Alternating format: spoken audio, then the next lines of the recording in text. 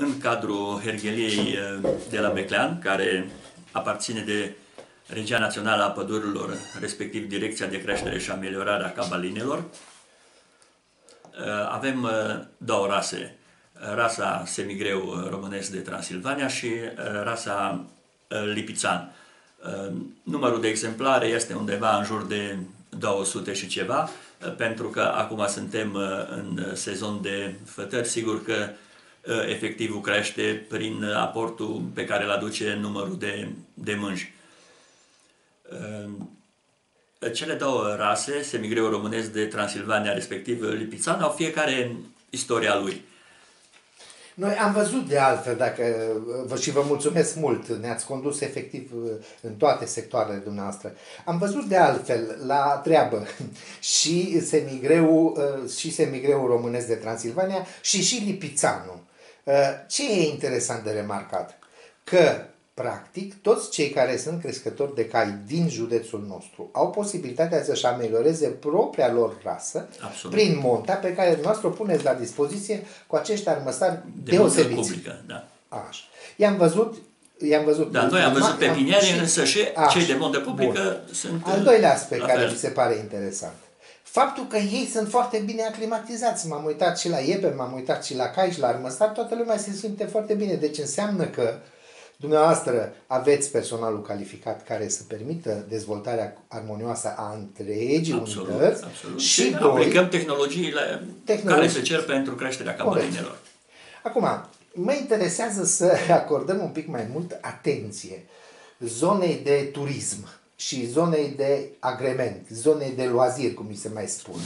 Adică am remarcat că aveți într-un, într-un spațiu uh, cai care sunt anume antrenați pentru uh, latura sportivă, aveți trăsură de antrenament, trăsuri două, aveți trăsuri de concurs, în sens de trăsură de maraton și uh, trăsură de concurs mare, așa, Mă interesează să știu. Mai avem și trăsuri de nunți pe care și nu le-am văzut. de nunți. Trăsuri nu le-am de văzut, nunți da. și plimbări în jurul Hergeliei.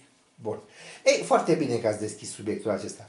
V-aș ruga frumos, domnul uh, inginer, spuneți-ne uh, ce estimați că veți pune la punct pentru sezonul turistic 2018, care azi e 8 martie, deci suntem în primăvară, practic. Da, acum chiar că se deschide sezonul de uh, turism și înseamnă vizitarea Hergheliei. Cum, Așa. Știu eu, rasele respective, cu mânji care au mare priză la copii. Mai vine și perioada cu școala altfel, când în fiecare zi avem mai multe clase de copii în vizită, care vin și văd, mai ales că acum foarte mulți trăiesc la oraș și n-au mai văzut așa ceva în viața lor. Pe urmă vin plimbările cu tresura. Așa la solicitarea lor, a claselor care vin și nu numai, uh, se pot face excursii până la Băilea Figa, în jurul Hergheliei, prin curte.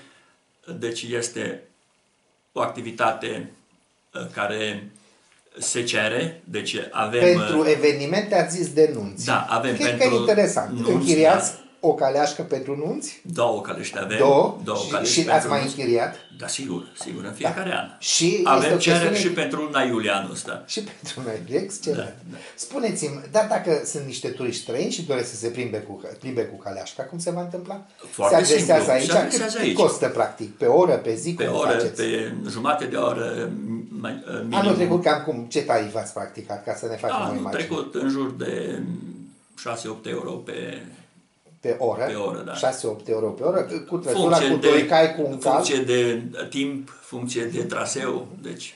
Pentru cei care au mai făcut călărie în viață și ar dori să închirieze un cal ca să poată să se plimbe călare prin zonă. Este această de, posibilitate? Deocamdată nu, pentru că nu avem instructori de călărie. În momentul în care vom avea instructori de călărie, putem declanșa și această operațiune. V-ați gândit să faceți așa ceva în sezonul acesta turistic? Dacă reușim să calificăm și să avem uh, un uh, ghid autorizat, un uh, da, da, da, însoțitor autorizat. Călăreț autorizat, atunci vom putea face fără probleme. Deci aveți în vedere și Avem acest în vedere, aspect. Da.